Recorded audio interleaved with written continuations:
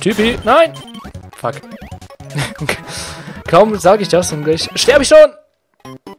Ich habe jetzt nicht erwartet, was da runterkommt. hey, unser erster Tod in der zweiten Welt. Mann, bin ich gut. Ah, Typi.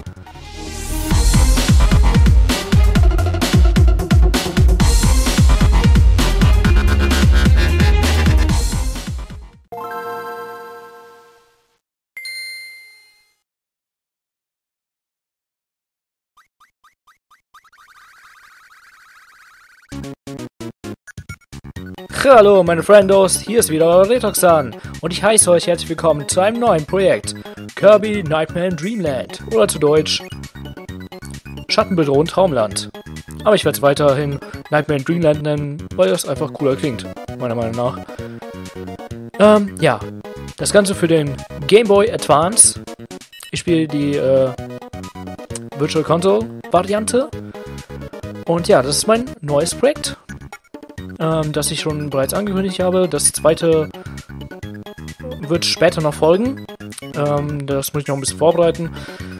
Ja, wie gesagt, erstmal ein kürzeres Spiel, so ein bisschen für zwischendurch. Ein bisschen Spaß haben. So, und ich würde sagen, wir fangen einfach direkt mal den Einzelspieler an. Das Ganze ist äh, ein Remake vom allerersten Kirby für die NES. Und das sieht man jetzt auch schon, wenn man den ersten Teil gespielt hat. Und man hat hier auch noch nicht so krasse Attacken, sag ich mal. Also Möglichkeiten, was man, was man alles mit einer Verwandlung machen kann. Wir können quasi einfach nur den B-Knopf drücken und einen Schuss abgeben. Das, das war's eigentlich. Man kann nicht irgendwie im Rennen und das machen oder im Sprung oder sonstiges. Ähm, ja, weil wie gesagt, das Ganze ist ein Remake und damals gab es halt alles noch nicht. So, jetzt haben wir uns mal die Feuerverwandlung geholt, weil die geil ist. Und genau.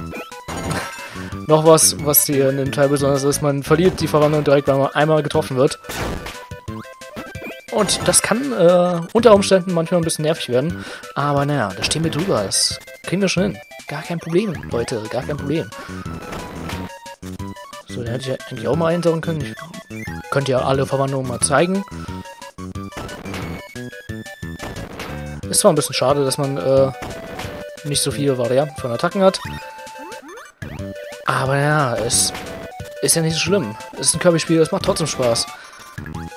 Wenn ihr da was anderes sehen wollt, ähm, könntet ihr theoretisch auch, ähm, ah, verdammt.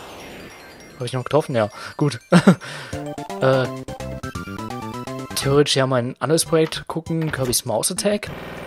Das ist allerdings äh, schon etwas älter, das war noch zu meinen Anfängen und äh, deshalb, naja, ich würde es nicht unbedingt empfehlen, aber keine Ahnung, wenn ihr, wenn ihr unbedingt sehen wollt oder hören wollt, wie ich mich damals so angestellt habe, könnt ihr, könnt ihr es euch reinziehen, aber naja.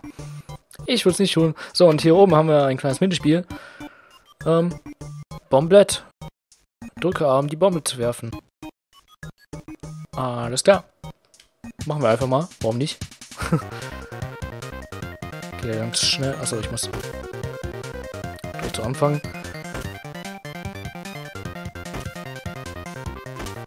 So, ja. Die ganze Zeit wird, wird hier so eine Bombe hin und her geschmissen und wir müssen die immer zu den anderen schlagen, bis, bis die mal bei irgendeinem explodiert. Also bis der CPU das quasi nicht mehr schafft. Und dann wird er ersetzt komischen Ball. Und wenn alle besiegt sind, außer einer, derjenige hat dann gewonnen. Ganz easy und dadurch können wir Leben gewinnen. Jetzt habe ich schon ein bisschen ausprobiert. Spielsprint. Wow, okay. das war schlecht. Ich bekomme trotzdem zwei Leben. Wow. Easy going, easy going, Leute. Ist ja gar kein Problem, okay. Muss ich jetzt nicht unbedingt nochmal machen. Einmal gesehen, reicht. Wir gehen weiter, wir gehen weiter. In die nächste Welt. Stirbt doch einfach. Jetzt kommen die Kanonen. Ah, guck mal an. Eine neue Verwandlung. Ups. Ich tausche hier manchmal noch die, die Knöpfe, weil irgendwie ist das, sind die genau andersrum platziert, als wie ich eigentlich gewohnt bin. aber okay. Könnte öfter passieren, aber ich hoffe einfach mal, das kriege ich irgendwie hin. So, mit der Fahne können wir einfach nur so, so einen Boomerang werfen. Der kommt auch immer wieder zu uns zurück. Also was heißt immer wieder, wenn, wenn wir den gegen eine Wand schlagen, dann nicht. Oder gegen Gegner, die ihr seht. Ah, au. Du fieser Typ, ey. Lass mal sein. Ah, da, wie er über mich drüber springt. Und mich nicht trifft. Der Trottel. Oh. So, können wir von... Nein, was wollte ich nicht drücken? Genau. Können wir von den Bomben? Oh ne, Inferno. Okay. Ich glaube, hier gab es noch gar keine Bomben, deswegen. Deswegen kriegt man von den kleinen Typis keine Bombe. Keine Bombenfähigkeit. Okay. Setzen wir einfach mal ein. Wow, und killen alle Gegner. Die uns eigentlich gar nichts getan haben. Kirby stolziert hier wieder durch irgendwelche Welten und killt wehrlose kleine Viecher. Warum auch immer. Weiß nicht so genau. Wir haben nicht mal eine Story oder so bekommen. Es ging einfach direkt ins Spiel geschehen und wir müssen einfach Typis töten. Ich weiß nicht warum. Das ist einfach Kirbys Natur. Wir müssen es akzeptieren. So, die Elektrofähigkeit ist in dem Teil, finde ich, äh, nicht so spannend. Man kann halt nur dieses Elektrofeld erzeugen und das war's. Aber naja, man kann immerhin in alle Richtungen treffen. So in das Schwert. Schwert ist eine meiner Lieblingsverwandlungen, deswegen hole ich es mir. Und was man hier so machen kann. Einfach zuschlagen. Okay. Oh. Die Variante gibt's doch. Im Sprung das zu machen. Und Schwert kann man auch unter Wasser benutzen. Es gibt auch Unterwasserpassagen. Die werden auch früh genug, genug kommen. So, und am Ende jedes Levels verkacke ich erstmal. ja, gibt es hier dieses Bonusspiel. Kriegt man halt Punkte. Ich glaube, an einer bestimmten Punktzahl kriegt man vielleicht auch ein Leben oder so. Oder vielleicht auch, auch nur für einen Highscore oder sowas. Was eh keine Sau interessiert. Aber ich glaube, ganz oben können wir ein Leben oder so. Ich bin mir nicht ganz sicher. Aber werden wir bestimmt noch sehen. Vielleicht auch nicht, weil ich einfach nur schlecht bin. Kann natürlich sein. Ich bin mir da nicht so sicher. sicher. Kriegen wir schon hin. Kriegen das schon hin. So schwer ist das jetzt auch nicht. Man muss nur das richtige Timing hinkriegen. So, kriegen wir von denen was? Her. Tatsache. Oh, nice. Oh, nice. Also das ist hier eine separate Verwandlung vom Feuer, äh, von der Feuerverwandlung. Das ist auch interessant sonst immer in Feuer integriert quasi, wenn man rennt und dann äh, quasi Feuer speien will. Nochmal den Move. Aber hier ist das eine separate Fähigkeit. Ist auch nicht schlecht. Ist auf jeden Fall cool. Der hat keine... Nein! Meine Verwandlung. Der hat übrigens keine Fähigkeit. Gibt auch Gegner, die keine Fähigkeiten bringen, ja. Wer Kirby nicht kennt. So ist das so. Jetzt haben wir... Verdammt. Ich habe meine Verwandlung zerstört. Ja, die hätte ich eh nicht mehr holen können unter Wasser.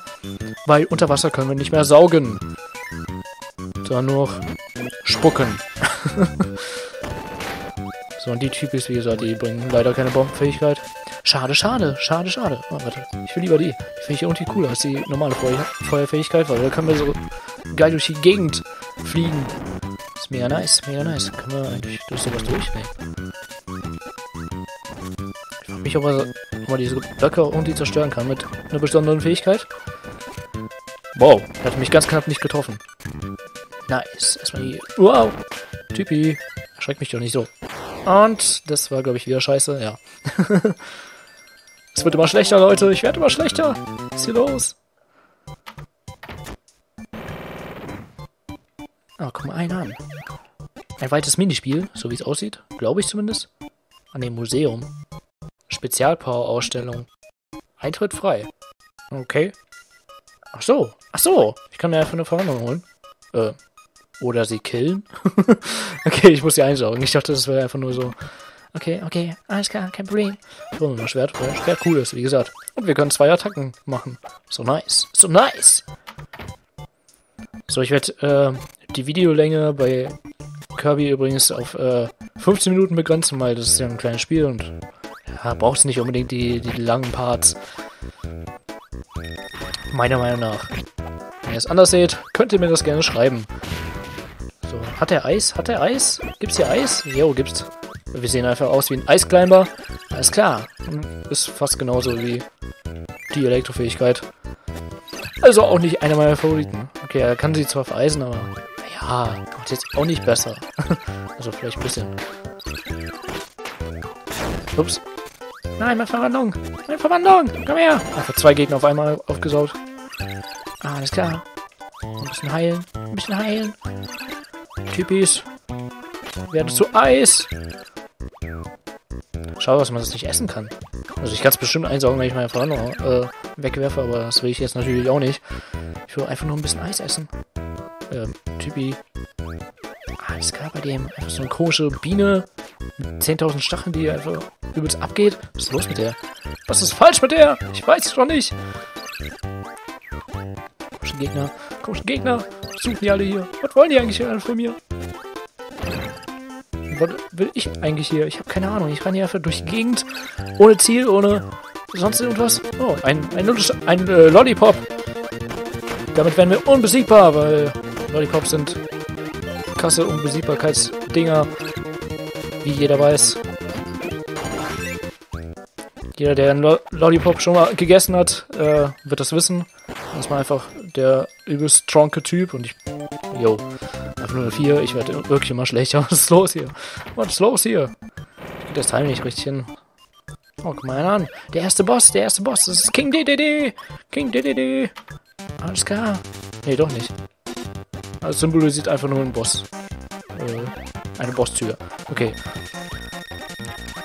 Gut, wäre auch ein bisschen komisch gewesen, wenn der erste Gegner nicht Wispy Woods gewesen wäre, weil das ist einfach der Standard erste Gegner. Ist einfach easy going, der kann nix. Guckt ihr euch an, er ist einfach tot. Also nicht tot, aber besiegt. So, und am Ende machen wir, äh, führen wir einen coolen Dance aus. Mit unserem Doppelgänger, die aus dem Nichts kommen. Alles klar. Welt 2. Äh. Ah, alles klar. Ich habe ja einfach irgendwelche komischen Träume, die, die auch noch wahr werden. Wenn das mal im echten Leben äh, klappen könnte. Oder die haben komische Kokosnüsse. Die sind extrem gefährlich. Das sind einfach nur Kokosnüsse, aber die, die explodieren einfach. Das ist alles klar bei denen. Ich weiß nicht, warum sie das tun. Ob das ihr Hobby ist oder so, aber sie tun es einfach. Wahrscheinlich, weil sie es können. So, Regenschirmverwandlung gibt es wahrscheinlich, oder einfach nur Schirm. Das ist ja nicht unbedingt ein Regenschirm. Äh, Schirmverwandlung gibt es wahrscheinlich auch wieder, aber das ist so einer meiner Last Favorites Verwandlungen. So, ich bin jetzt einfach Feuer. Scheißegal. Die stürzen hier vom Baum. Mega gefährlich. Ah, eine Verwandlung. Aber die sind, die sind auch nervig. Also die können nervig sein, weil wenn wir da zu nahe kommen, dann werden die übelst hässlich, verwandeln sich so ko ganz komisch und greifen uns an. Wollen uns aufessen oder sowas. Ich weiß es auch nicht. Auf jeden ganz komische Kreaturen. Ich weiß nicht, von mir wollen. Oh, guck mal da, schon wieder Inferno. Können wir von dem bekommen. Das weiß ich, weil Inferno gibt es auch in anderen Kirby-Spielen. Aber Bombe gibt es dann halt quasi noch äh, separat. Oh, guck mal da. Tornado. Tornado ist auch cool eigentlich. Normalerweise so wie ich es kenne. Ich weiß nicht, wie, wie es hier funktioniert. Ja, so wie in Mausdeck. Aber können wir auch senken? Wie ging das? Wenn wir gedrückt hatten, dann fliegen wir auf jeden Fall hoch. Wie kommen wir runter? Das ging doch auch irgendwie. Unterdrücken bringt nichts. Geht das wirklich nur oben? Irgendwie ging das, zumindest im Mausattack. Ich weiß halt nicht, ob es hier auch geht. So, die Tür schwebt einfach in der Luft, alles klar, aber da können wir trotzdem rein. Hallo? Dankeschön. Ich bin irgendwie immer so unvorbereitet. Ich check immer nicht, was das äh, solche Endtüren sind. Obwohl die äh, schon ein bisschen anders aussehen als normale Türen. Und dann bin ich überrascht, was das auf einmal dieses Minigame kommt. Und dann verkacke ich das immer. Ja. No Johnson und so. Kirby's Kufen Grind. Drücke um zu grinden. Grinde nicht auf schwarzen Abschnitten. Okay. Dann versuchen wir das doch. Das ist hier schon Sonic-Style. Wow. Ja, ja, ja. Okay. Ja, ist doch machbar. Ist doch machbar. Wir liegen zwar hinten, aber es ging. Was? Ich hab irgendwas besonders gut gemacht, weil ich weiß nicht, ich losgelassen habe oder sowas. Keine Ahnung. Jo, jetzt habe ich wieder verkackt. verkackt. Oh, was war das denn? Ich bin gerade irgendwas hinterhergeflogen? Ich habe keine Ahnung. Mist, ich bin Zweiter. Oder? War ich Zweiter oder Dritter? Zweiter. Okay. Kann ich mit. Kann ich mit. Zwei Leben. Ja, siehst du, kann ich, kann ich sogar zweimal mitleben. Ha! Dead Wortspiele. Oh, perfekt, perfekter Ort für meine Verhandlung. Weil es nur nach oben geht. Ja, das ist nur nach oben. Wir sind schon da. oh, die Musik, Leute. Ich liebe die Musik aus Kirby.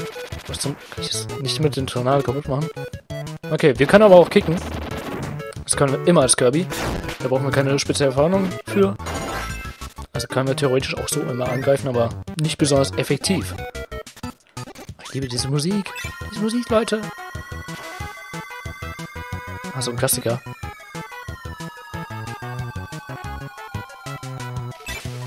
Kennt ihr eigentlich Kirby? Habt ihr schon mal ein Kirby-Spiel gespielt und wie findet ihr die Spiele? Könnt ihr mir auch mal erzählen. Wäre auch mal interessant.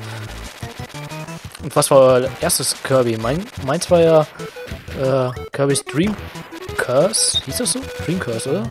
Für ein Super Nintendo. Das quasi wie so ein Golfspiel war, wo man, wo Kirby nur so eine Kugel ist und man den ins Loch bekommen muss. Ne? so, Radverwandlung holen wir uns mal. Ähm, auf jeden Fall, da gab es auch, auch die Musik, deswegen hat mich das gerade auch wieder dran erinnert. Ich fand das Spiel damals ziemlich cool. Ich fände es wahrscheinlich auch immer noch cool. Wow, jetzt nicht auch runterfallen. Dann vielleicht halte ich mir an und gucken, was es hier so gibt, aber ne. Wir, wir fahren einfach durch. Das ist, diese Stage ist ja prädestiniert dafür, für, die, für das Rad. Naja, nutzen wir es auch. So, und das ist eine Endtür, so. Diesmal drauf achten. Das, das war richtig scheiße, what the fuck? Ich kann es einfach nicht, Leute. Ich kann es einfach nicht. Ob wir jemals eine 1 bekommen werden, zum, äh, in dem gesamten Let's Play, ich weiß es nicht genau. Schon wieder dieses Bomben äh, Let's Play, wollte ich schon sagen, Minispiel. ja. Okay, dann machen wir es halt nochmal. Einfach so, weil wir es können. Also, hoffe ich. Also bei meinem First Try habe ich das geschafft. Aber naja, naja, bei so einem Let's Play ist es immer ein bisschen anders, ne? Ist die Konzentration immer nicht so toll.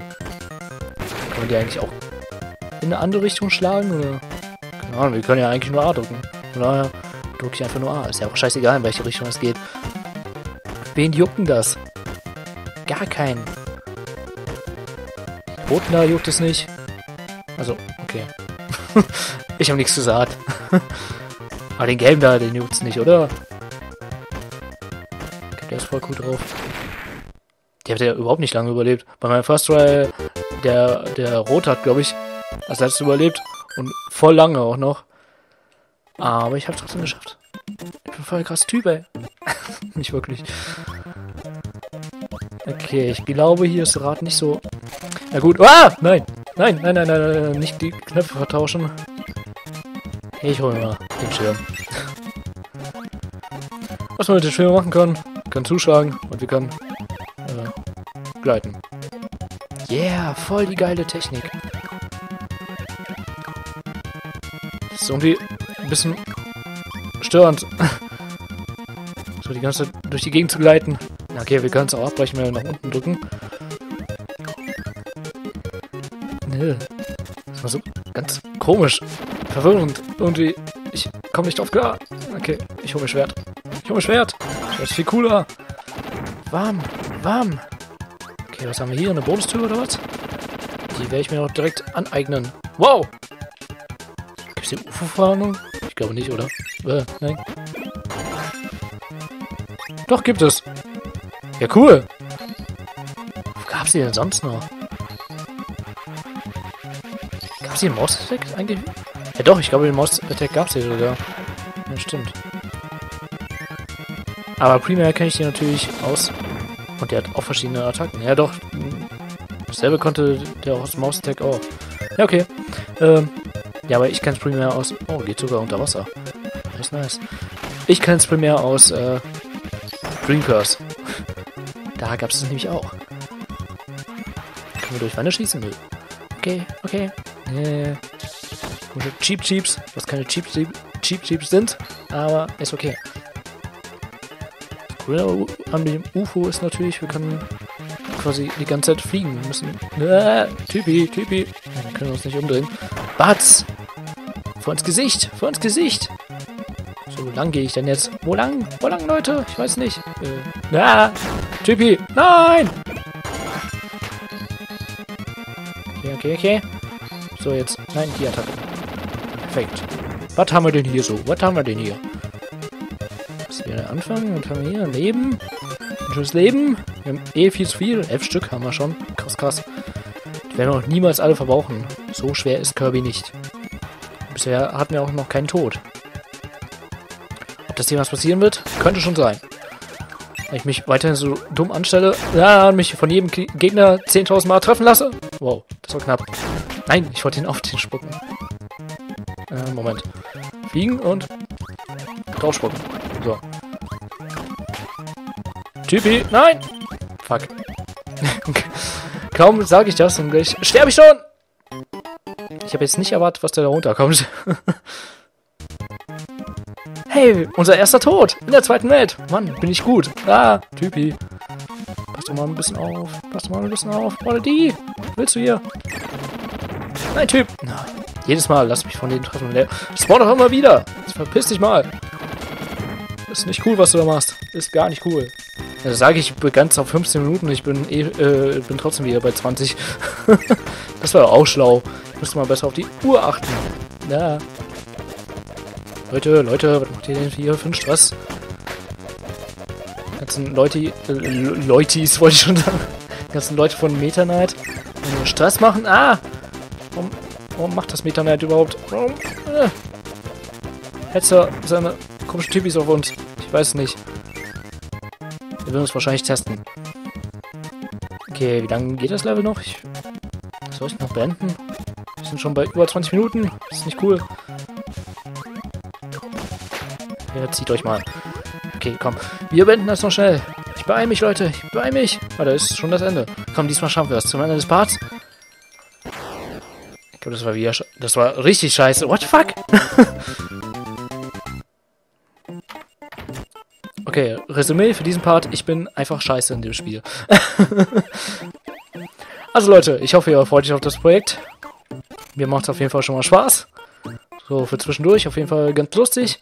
Und dann würde ich sagen, beim nächsten Mal gehen wir hier in die ähm, ins Level 4 von Welt 2. Alles klar, dann bis dahin. Ciao.